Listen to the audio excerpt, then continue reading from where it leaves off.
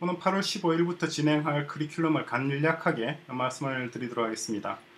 아, 초등 과정이 1년, 2년, 3년, 4년, 4년이고 그리고 중등 과정도 4년입니다. 4년이고 그런 다음에 대학 과정이 2년 이렇게 해서 총 10년 정도 걸쳐서 공부를 진행을 할 겁니다. 아, 그런 다음에 이제 대학원 과정이 대략 한 3년 정도, 3년에서 5년 정도 했어요. 대략 어, 전체로 합치면 13년에서 15년 정도의 커리큘럼입니다. 이번 이런 커리큘럼 자체가 좀, 좀 특이할 수는 있는데 보통 이제 학원이나 이런 커리큘럼이 되게 뭐 두 달, 석 달이지 길어야 1년을 넘어가지는 않습니다만은 여기 커리큘럼은 어쩌다 보니까 어, 거의 뭐 10년을 넘어서게 됐는데 음, 그렇게 된 이유는 어, 지금 당장의 어떤 학습자들의 상태가 다 다를 거란 말이죠. 그러니까 어떤 사람들은 대학에 다니고 있을 거고, 어떤 사람은 초등학생이고, 어떤 사람은 직장인인데, 그런 분들이 자기 위치에서 바로 공부를 진행할 수 있도록 이렇게 구성을 했습니다. 그러다 보니까 15년 어, 분량의 커리큘럼을 구성할 수밖에 없었죠. 어, 그래서 자기가 대학생이다. 그러면은 어, 대학 과정에서 공부를 하고 있면 되죠. 근데 대학생이긴 한데 좀 이 기본적인 부분을 잘 모르겠다. 그러면은 중등 과정부터 공부를 할 수도 있겠죠. 그럼 내가 지금 중학생이라고 한다면은 중등 1년 차부터 공부를 하든가 아니면 기초를 좀 됐으면 좋겠다 싶으면 초등 과정에서 공부를 할 수도 있을 겁니다. 어쨌거나 자신의 위치에 에, 자신의 어떤 백그라운드죠. 어, 지식과 기술의 배경에 맞춰서 자기 위치에서 공부할 수 있도록 구성을 하다 보니까 어, 전체 15년 정도의 커리큘럼이 구성이 되었습니다. 그리고 수업은 어, 초등 1년 차부터 어, 강의는 진행을 합니다. 굉장히 빠른 속도로 진행을 하게 될 텐데 어, 샘플은 유튜브에 다 올라가 있습니다. 어, 각 과목들의 샘플은 음, 올라가 있는데 이제 에덱스에서 진행하는 것은 초등 1년차부터 8월 15일부터 쭉 이제 녹화를 진행을 하고 만약에 어, 중등 2년차나 중등 3년차 혹은 대학 1년차, 2년차 수업을 듣는 분들이 있다. 어, 수강 신청하신 분 있으면 그 수업도 어, 진행을 합니다. 예를 들어서 고등수학 3 어, 굉장히 좀 수준 높은 수학이죠. 어, 그러니까 고학고등학교의 고급 수학보다 조금 더 수준이 높습니다. 여기 수업을 듣고 싶다 그러면 수강 신청하시면 됩니다. 그러면 여기 강의도 같이 진행을 합니다. 기본적으로는 초등 1년차부터 공부를 진행하게 될 겁니다. 그리고 색상이 이렇게 다르게 쭉쭉 되어 있는 과목별로 지금 오렌지 색깔로 표현되어 있는 것은 영어 수학 통합 과목입니다. 그러니까 어, 영어와 수학을 하나로 합친 것이 우리 프로젝트잖아요. 그래서 어, 초등학교 1년차 숫자와 논리 수학 이전에 논리를 먼저 공부를 합니다. 2년간 걸쳐서 공부를 합니다. 그리고 그 다음에 이제 영수 통합 과목 알지브라부터 해서 쭉쭉 진행을 하게 되는데 보면 초등학교 1, 그러니까 우리나라가 6년인데 여기 커리큘럼 상으로는 4년으로 되어 있단 말씀이죠. 그런데 그거는 별뭐 의미는 없습니다. 어떤 의미가 없냐니까 어, 6년이든 7년이든 100년이든 뭐 어떤 자기 수준에 맞는 것을 찾아서 공부를 하시면 됩니다. 그리고 초등학교 1년부터 1학년부터 6학년에 해당되는 것이 여기에 우리 커리큘럼에서 초등 1부터 초등 4까지 4년으로 구성이 되어 있습니다. 굳이 우리가 초등 1학년부터 6학년까지 그대로 1대1로 매칭을 안 한 이유는 어, 굳이 그렇게 할 필요가 없더라고요. 그래서 어, 초등을 4년, 중고등학교도 우리나라가 6년이잖아요. 중학교 3학년, 고등학교 3학년인데 굳이 거기에 맞출 필요 없이 그냥 중등 1년부터 해서 중등 4년까지 해서 4년으로 줄였습니다. 6년 공부할 것을 4년으로 줄였다고 해서 이 4년어치 공부만 한다고 끝나는 게 아니라 자기 수준에 맞는 데서 찾아서 공부를 하시면 되는 거죠. 그리고 기존의 학교 체제, 학제, 우리나라가 6334 제제로 돼 있잖아요. 근데 지금 이 커리큘럼 상으로는 442입니다. 6334면은 총 16년인데 어, 이 커리큘럼 상으로는 10년입니다. 442로 구성되어 있으니까. 근데 이것이 이제 학교를 대체하는 게 아니니까 어, 그냥 부가적인 하나의 커리큘럼이다 이렇게 생각을 하시면 됩니다. 기존의 학교를 대신해서 어떤 대안학교로 구성한 게 아니라 어, 기존의 어떤 학교나 어, 직장에 다니는 분들이 자기의 어떤 수준 백그라운드에 맞는 데서 공부를 시작을 해서 어, 궁극적으로 요 박사 과정, 석박사 과정이죠. 여기 이 수준까지 올라오도록 구성을 한 겁니다. 그래서 수학 과목을 영수 과목을 다시 한번 보면은 일단 총 어, 영수 과목이 10개입니다. 10개. 그러니까 10년 차입니다. 1년 차, 2년 차, 3년 차, 4년 차. 어, 3년 차죠. 그리고 4년 차, 5년 차, 6년 차, 7년 차, 8년 차, 9년 차, 10년 차. 이렇게 해서 어, 10년에 걸쳐서 공부를 할 수 있도록 구성을 했습니다. 그래서 뭐 기존에 있는 어, 영어 수학 과목을 통합을 시킨 거고 기존의 영어 수학 과목이 6, 3, 3, 4에서 12년을 공부를 하게 됐는데 여기는 이제 대학까지 해서 10년으로 했으니까 좀 기간을 많이 줄였습니다. 그래서 어, 난이도가 학교보다는 조금 더 난이도가 있으니 높은 편입니다. 어, 그리고 컴퓨터 프로그래밍도 마찬가지입니다. 컴퓨터 프로그래밍도 10년 차를 진행을 합니다.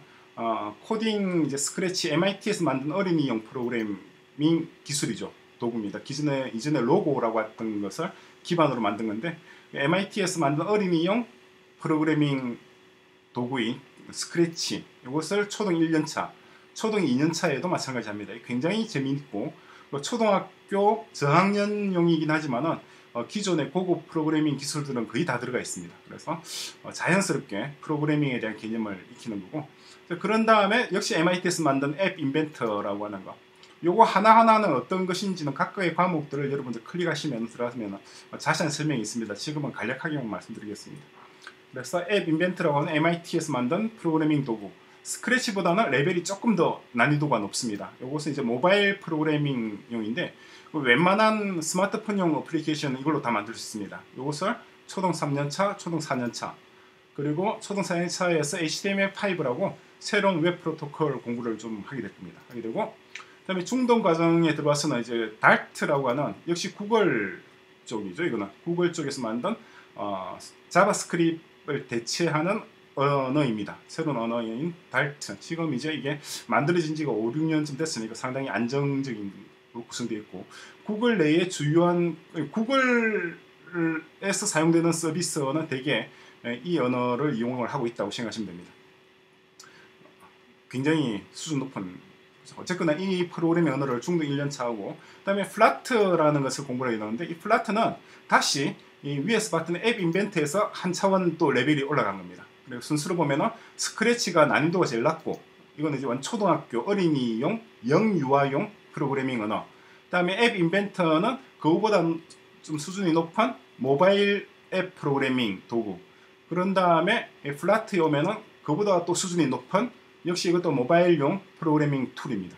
어, 요걸 하게 되면 이제 기존의 iOS나 안드로이드용 어플리케이션을 뭐 뭐든지 다 만들 수가 있습니다. 요걸 공부를 하게 되고 그런 다음에 이제 Angular Dart라고 하는 또다시 그보다 조금 더 수준 높은 것도 공부를 하게 됩니다. 중등 2년차에서는 파이썬을 공부를 하게 되는데 파이썬과 이제 Scientific Python을 공부하게 되는데 이것은 이제 인공지능을 우리가 인공지능 자체도 프로그래밍이잖아요. 인공지능 프로그래밍에 들어가는 도구라고 보시면 됩니다.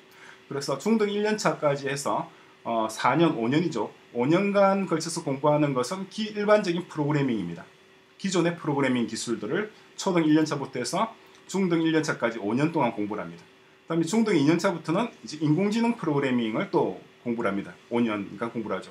그래서 총 10년간의 프로그래밍 공부 중에서 처음 5년간은 일반적인 우리가 알고 있는 그 프로그래밍, 코딩이라고 하는 것을 공부를 하게 되고 그 다음 이어서 5년간은 인공지능 프로그래밍을 공부를 하게 됩니다. 그래서 중등 2년차부터 스탠퍼드 대학의 어, 과목들을 공부를 합니다. 물론 우리가 한국어로 다 설명한 그런 다시 제작한 강의들입니다. 스탠퍼드 강의를 그냥 그대로 가져오게 되면 중등 2년차에서도 좀 소화하기가 힘들잖아요. 그래서 좀 쉽게 풀어서 한국어로 설명한 어, 강의. 강의 내용은 똑같습니다. 스탠퍼드에서 하는 거나 저희가 진행하는 거나 목차도 똑같고 교재도 똑같고 단지 우리가 한국어로서 조금 더 쉽게 설명을 한다는 게 좀 다르죠. 그리고 중등 3년차에서는 어, 이제 버클리 대학의 인공지능 프로그래밍 과목들로 공부를 합니다. 역시 우리가 한국어로 쉽게 풀어서 공부를 하는 거죠.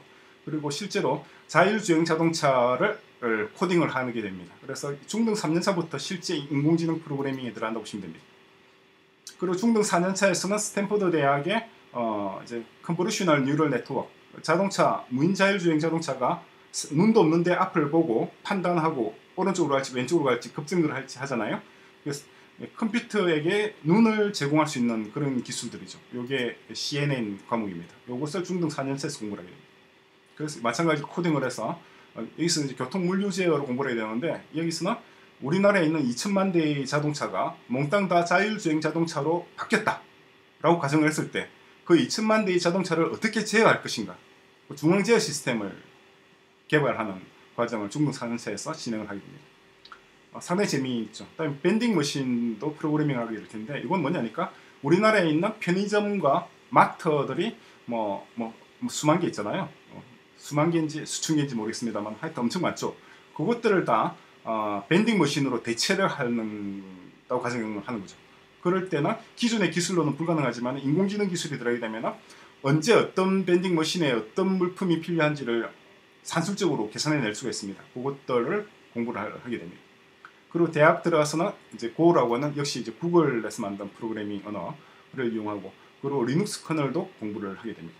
이것이 이제 프로그래밍 과정입니다. 그리고 하나 더 이제 살펴볼 것은 이렇게 이, 이 자주색으로 표현되어 있는 것은 인공지능 과목들입니다. 그래서 어, 스탠퍼드 대학과 버클리 대학, 어, 또 스탠퍼드 대학, 그리고 Udacity, 카네기 멜론 대학, 그리고 구글에서 만든 것, 옥스퍼드 대학, 어, 버클리 대학 이렇게 쭉쭉 이어져서 난이도를 점점 점점 높여가면서 중등 2년차부터 어, 거의 대학원 수준까지 마지막은 이제 알파고 알고리즘 알파고와 AI 알고리즘까지 공부하는 것이 이렇게 이어지게 됩니다. 대략 한 6년 정도 공부를 하게 되는 거죠. 어, 공부할 게 상당히 많죠. 자 그리고 또 오른쪽에 보면 녹색으로 되어 있는 거 있죠. 녹색은 하드웨어입니다. 그러니까 어, 우리가 소프트웨어만 다루는 것이 아니라 이제 인공지능은 결국 로봇인데 로봇은 어, 물리적인 어떤 전자기계적인 장치를 표현을 필요로 하죠. 그래서 이것은 이제 초등학교 1, 1학년 1년차에서는 하지 않고 초등 3년차부터 이제 아두이노라고 하는 보드를 이용해서 어, 자동차를 만드는 것, 회로도를 한번 해보는 건데 이걸 실제 회로도 실제 기판을 가지고 하는 게 아니라 시뮬레이션으로 하게 됩니다. 그러니까 실제 기판 PC보드가 없이도 어, 바로 어, 어, 인터넷상으로 어, 가상의 어떤 회로도 를 이용해서 우리가 조립을 하는 과정들을 초등 3년차부터 공부를 합니다. 초등 4년차에서도 하고 이때 C++이라고 하는 프로그래밍 언어도 공부를 좀 약간 깊이 있게 하지 않고 약간 하게 됩니다. 그렇게 해서 처음에 자동차 만들고 화물차 만들고 또 지게차도 만들고 어, 포크레인도 만들어 보고 비행기도 만들고 그리고 중등 4년차에는 마지막으로 휴머노이드를 만들게 되는데 난이도가 점점 올라가게 되죠. 그래서 총 이것도 6년 정도 차입니다. 6년 정도에 걸쳐서 가장 쉬운 것부터 해서 어, 비교적 난이도 높은 것까지 단계별로 매년 매년 어, 난이도를 높여줘서 나중에는 이제 휴머노이드와 MIT에서 진행하는 자율 차량을 실제로 만들어 보게 됩니다. 그래서 여기서 어, 초등 3, 4년 차에서는 가상의 어떤 보드를 이용해서 우리가 기본적인 개념들을 그러니까 하드웨어적 개념들, 로봇에 대한 개념을 익히게 되고 중등 과정에서부터는 실제로 어, 보드, 아두이노 보드를 이용해서 실제로 드라이버나 이런 걸 해서 쪼이, 뭐 쪼이고 닦고 하는 걸 해보게 될 겁니다. 자 그리고 이제 리눅스 부분이 있는데 오른쪽에 있는 것이 리눅스입니다. 그래서 초등 1년차에서는 어린이용 리눅스 그리고 초등 2년차 어린이용 리눅스 3년차에서 shell script, 4년차에서 서버 해서 어, 리눅스도 4년 정도에 걸쳐서 공부를 하게 됩니다. 네, 초등 1년차부터 초등 4년차까지 진행이 되죠. 상당히 중요합니다. 리눅스는 모든 프로 컴퓨터 과학의 기초가 되죠. 그래서 가장 빠른 시기인 초등학교 1년부터 초등 4년차까지 진행을 하도록 구성을 했습니다. 영수 통합 과목은 이렇게 뭐 가장 기초적인 숫자와 논리부터 해서 그 다음에 algebra 우리가 말한 대수학이라고 하는 거죠. algebra와 그리고 어, geometry, precalculus, trigonometry, 뭐 삼각 삼각 함수라고 하는 거죠. 이걸 calculus 이른바 고등 수학이라고 하는 부분입니다. 고급 수학이라고 하는 거죠. 어, 이과 고등학교 이과 과목 이과 수학을 어, 중등 3년차부터 공부를 시작을 해서 어, 나중에 대학 2년차까지 해서 calculus를 다 마치게 됩니다. 어, 그리고 왼쪽 편에 보면 좀 확률과 통계도 있는데 확률과 통계는 중등 3년 차부터 시작합니다. 그래서 어, statistic A, B, C 그리고 데이터 과학까지 이어지게 됩니다. 뭐 확률과 통계는 수학의 부분이라고도 볼 수 있고 독립된 또 학문 분야라고도 볼 수 있는데 일단 어쨌거나 별도로 빼놓았습니다. 그리고 이제 자연과학 쪽에서 우리가 물리와 화학, 생물을 안 할 수가 없는데 중등 2년차부터 시작을 합니다. 물리 기초를 공부를 하고 중등 3년차에서 물리, 화학, 그리고 생명과학, 중등 4년차에서 생명과학을 공부를 해야 됩니다. 물론 우리 생물이라고 하는 거죠. 이렇게 해서 전체가 한 65개 정도 과목입니다. 어, 약 15년 정도의 공부 학습 분량인데 어, 8월 15일부터 녹화 들어가는 것은 수업을 바로 진행하는 것은 초등 1년차부터 수업을 진행합니다. 어, 왜 오른쪽에 보면 이거 개인과 사회, 도덕과 윤리, 환경과 진화 이런 부분, 음악과 미술, 춤과 공연 이런 과목들이 있는데 이것은 우리가 녹화한 게 아니라 기존에 녹화되어 있는 다른 분들의 강의를 가져올 겁니다. 다 오픈소스로 공개되어 있는 것들을 어, 연결해서 여기 배치를 했는데 관심 있는 분들만 어, 참고하시면 됩니다. 이건 저희 정규 과목은 아닙니다. 그러니까 저희가 자체 제작한 건 아닙니다. 뭐, 향후에는 자체 제작할 생각도 있긴 합니다만 일단은 지금은 아닙니다. 아니고 그래서 일단 빼놨습니다. 참고로 말씀드렸습니다. 자 그렇게 해서 초등 1년차부터 빠른 속도로 어, 강의를 진행을 하고 어, 모든 수업은 self-paced learning입니다. 그래서 여러분들이 원하는 과목을 찍어서 공부를 하시면 됩니다. 근데 바람직하기로는 첫 번째 과목부터 공부하시는 게 낫습니다. 나는 지금 프로그래밍을 잘하고 있다. 어, 나는 뭐 HTML5도 공부를 했었고 뭐 여러 가지 했었다. 라고 하더라도 어, 스크래치부터 쭉 봐나오시기 바랍니다. 그러니까 코딩 경험이 있으면은 남들은 1년 걸릴 걸 어, 그, 나, 그런 분들은 2, 3일 만에 다 끝내버릴 수 있잖아요. 그죠? 그런 게 빨리 끝낼 수 있으니까 어, 위에 거부터 쭉 해놓으시면 됩니다. 그리고 저희들 어, 이것도 강의료도 어, 과목 별로 어, 강의료를 부과하는 것이 아니라 월, 월 수강료를 어, 이렇게 책정하도록 그렇게 결정을 했습니다. 그러니까 한 달에 얼마 이렇게 수강료를 내는 거니까 어, 새로 별도의 수강료를 내는 것이 아니라 그냥 한 달 낼 수강료를 내면 어떤 과목이든 다 볼 수가 있습니다. 그러니까 어, 처음부터 보는 게 낫죠.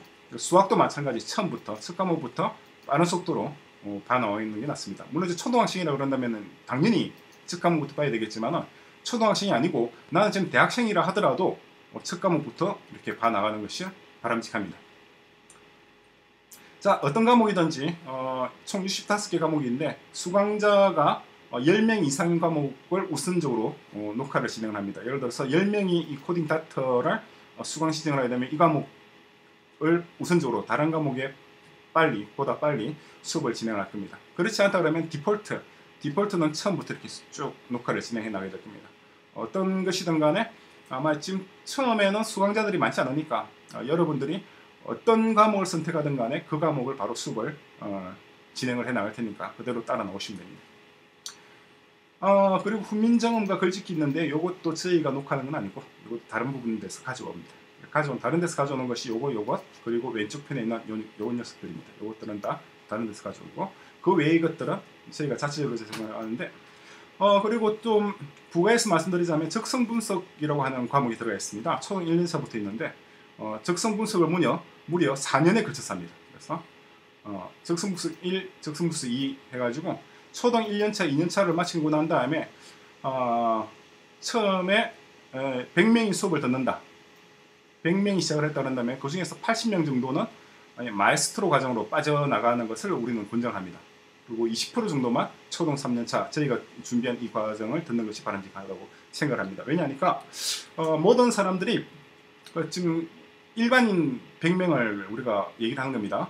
무작위로 100명, 초등학교에 입학하는 무작위 학생들을 100명을 선정을 했다고 가정을 하면은 그 중에서 어, 이 초등 3년차 이후의 수업을 받는데 적절하다고 판단되는 사람들은 맥시멈 20%라고 봅니다.